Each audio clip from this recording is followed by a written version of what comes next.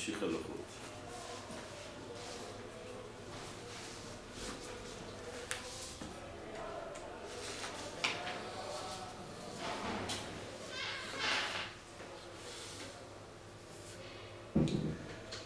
ראיך חלה, מדברים פה כעת על היין, היין שמתחיל להתקלקל, היין שמתחיל להחמיץ. מיץ הענבים שלנו בדרך כלל הוא מתקלקל ולא נהיה חומץ, אבל יש תסיסה. עכשיו מתחילים לדבר, אנחנו צריכים לדבר על מיץ הענבים שמתחיל לתסוס. משאירים את זה מחוץ לפריג'ידר, אז הוא מתחיל לתסוס, כל זמן שזה עדיין טעים, אפשר לשתות אותו, אז זה גפן. נראה אם יש כאן... נמשיך אולי לדבר על המיץ הענבים שמתחיל להתקלקל. פה מדברים על, על הקלקול הטבעי של היין, הקלקול הטבעי של היין שהופך להיות חומץ. ריחא חלא, יש ריח של חומץ ליין, אבל הטעם עדיין של יין. אני לא מכיר את זה כי אני אומר לכם, המצעדים שלנו בדרך כלל לא מחמיץ ומתקלקל.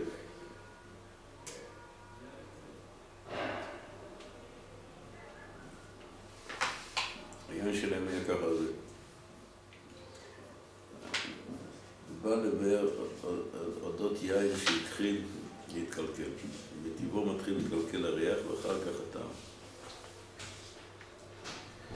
כל שבני אדם נמנעים לשתותו מפני חמיצותו, אין להרחיב עליו בפרק אלא שהכל כדאי ראוי לשתייה, אם כי זה כבר, לכן אני אומר, במיץ, עכשיו,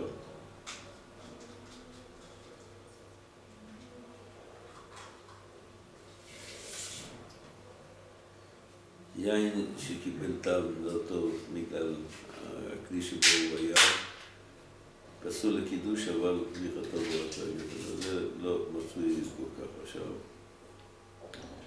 סיל ד' כל שבני אדם נהנה לשתותו, היינו שנעשה עדיין תלמו, רק שהתחיל תלמו להתחמץ קצת, עד שבני אדם נהנים לשתותו, לפתח שהכל כחומץ גמור, אבל למעלה, שזה מזיק ואין בזה ענת אכילה, לא מכאן האכילה וכאן הוא אומר עליו בכלל.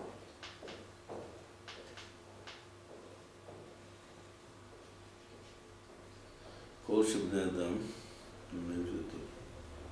כותב אביהו הלכה, המגן אברהם כתב, ולפי שאין אנו בקיאים בשיעור זה היטב, יש בני אדם שותים ויש שאין שותים, זה נוגע למיץ ענבים שמתחיל להתקלקל. לכן מספק אני יודע כשמתחיל, זה נוגע בבית. כשהמיץ ענבים מתחיל לצוס, אז אני יודע שיש כאלה שלא אוהבים אותו ולא שותים אותו. אבל אני שותה אותו כרגיל, אני אומר, אדרבה, זה מזכיר לי שמפניה, אבל לא יודע, אני פה לא... פה לא אומר את זה. עיין באל, מצאנו אני מסכת לנו אשתו, אנחנו סעיף כתב, אנחנו היום נתעסק עם מסנבים, כי יין, אני לא ראיתי מעולם יין אמיתי שמכניס, בגלל שכנראה יש בזה מספיק אלכוהול שלא נותן לו להיות חומץ.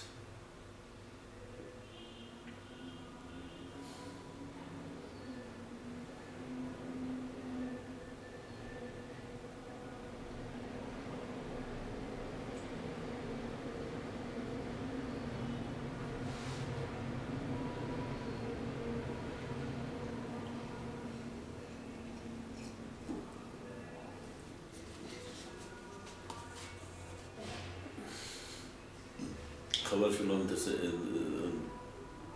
האחרונים לא, לא התעסקו במיץ הענבים שלנו, כי המיץ הענבים שלנו זה די חדש. עד שלא היה ידוע סוד הפסטור, לא היה שייך מיץ ענבים שלנו. היין בהכרח, מיץ ענבים, אם צוחקים את הענבים, הם בהכרח תוססים והופכים להיות יין. או חומץ. אבל אצלנו היום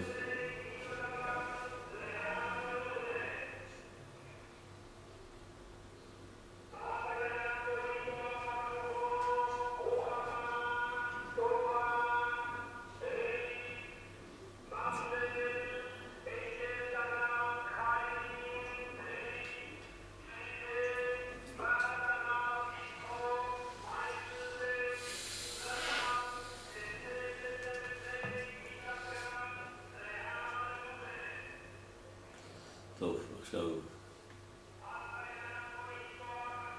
שמרי יין, פה יש לי בעיה. שמרי היין, אני אסביר פה מה השאלה. איך עושים יין היום, יין ביתי? היין הביתי זה בעייתי. למה?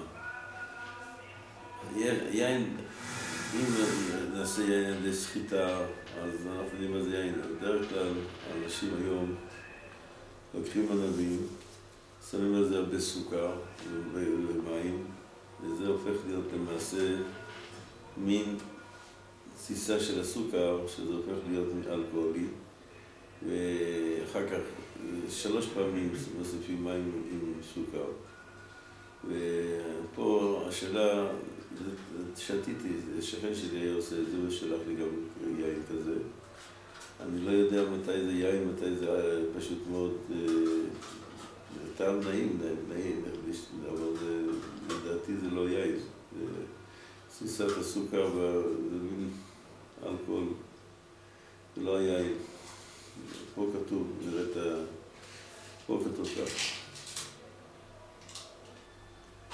שמרי יין ואיך אני מורה פרי גפן.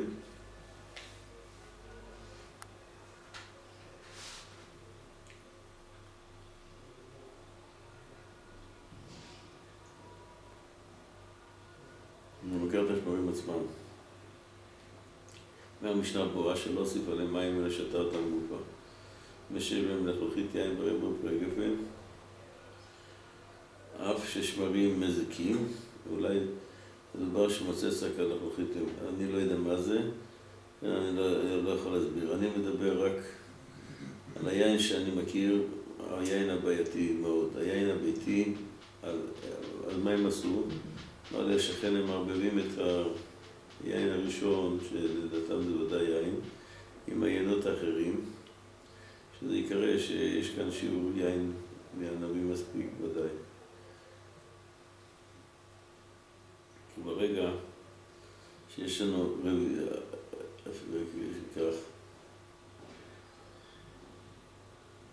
שמרי יין ואיך למה פרי יפת, נתן בהם מים, אם נתן שלוש מידות מים ומצא ארבעה, אז ברור שכאן יש מזוג ורבע פרי יפת. אם מצא פחות, אף על פי שיש בטעם יין, זה קיוע בעלמאות, זה רק איזה, כוונה קיוע חמיצות של הפרי. מורגשת, אלא שהכל. היינו בעינות שלהם שחזקים. העיינות שלנו שאינם חזקים כל כך, אפילו רמת תלת לבת ארבעה אינו מברך כל פרי גפן. ונראה שמשערים בשיעור שמוזגים יין באותו מקום.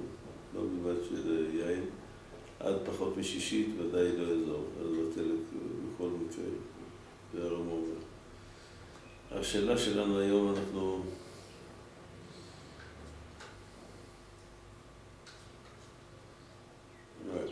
דווקא בשמרים.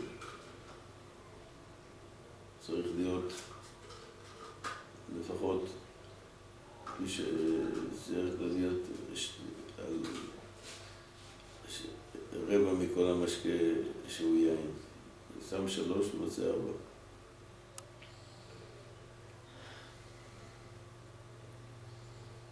מה היו המשמרים של הנביאים שדרכו אותם, שנסעו בלי תערובת מים, אבל היה שצימוקים שלנו שנשרה תחילת צימוקים מים, אחר כך גם בלחלוכית יין שיש בשמרים מעורב מתחילת הרבה מים, אז שמה אי אפשר, על הצימוקים התכונים להוסיף, זה ודאי שלא.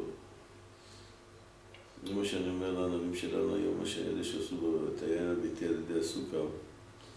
אני מאוד מתלבט לומר שזה בפעם השלישית, בוודאי שנראה לי שזה רק אלכוהול מהפרי והסוכר ששמים לב.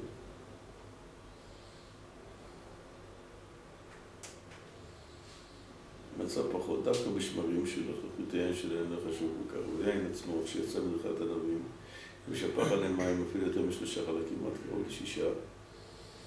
גם כן, יין גמור. צריך בו טעם יין, שראוי לשתייה דמזיגה זו, דר בן אדם לשתותו במקום יין הדמזיגה דהילה ואכיל, ותלת דתו אצל אדם.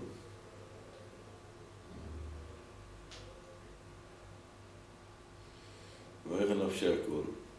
אחריו ברכת בורא נפשות.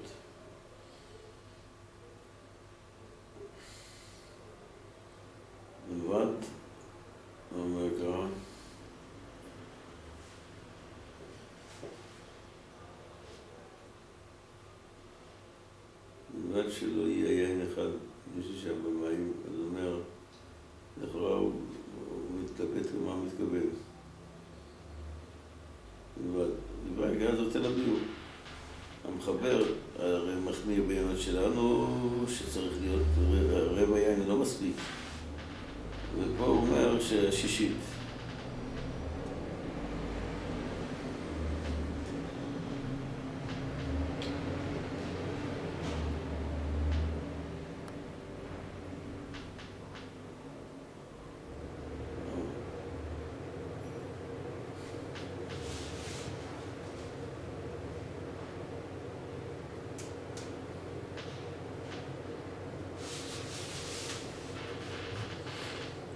שיש התקף. כי אין לו, ואם היין יותר מאחד במים, 17 אחוז יין, שם יין עליו, בלבד שיבותיו וריח של יין, יותר בן אדם לשתות יין במזויה כזאת. דע, בדברי ההגברה זה מהר יין חי, שאני עושה מתחילה בלי תערובת מים, לכן ראוי שאפשר להוסיף עליו, עד. ונשאר עליו שם יין, אבל יין צימוקים שלנו, שמתערב מתחילת צימוקים בהרבה מים, אי אפשר להוסיף כלום. אין לקמן זמן רשעים בית. טוב. ודאי בטל אפילו יש בטעם יין. אף לבן מכה ונתן כעיקר דורייתא, אחת לא חשיב טעם צדיקיות בעלמתם.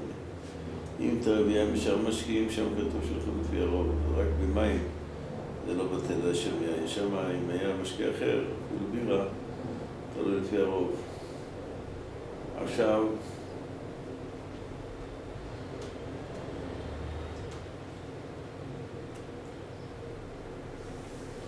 זהו, פה יש כאן יש נקודה חשובה מה שמעיר פה.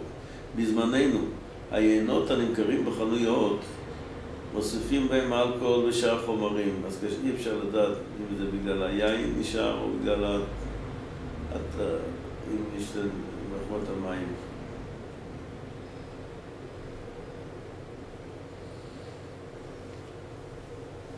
יינות בזמננו. אורח חזון נשאר שליש בוודאי אפשר להוסיף.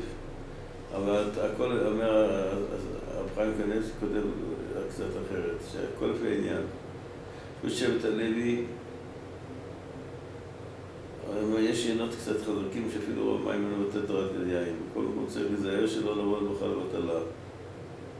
עכשיו, בואו נראה, או יופי. עכשיו אני רואה שהוא דיבר על היין שדיברנו עליו קודם. לא ידעתי את זה, אבל יש פה, בואו נראה את זה. אבל לפני כן, אני רוצה לראות מה הוא מצטט כאן, רב סבכת הזין, מה שאצל החזון איש. על המזיגת מיץ ענבים של החזון איש. שכחתי מה הוא אומר. בואו נראה. מיץ ענבים, שמזג במעט מים, כתב הרב שהמזיגה פה מעט בכנה עבודיה שלא להוסיף כלום.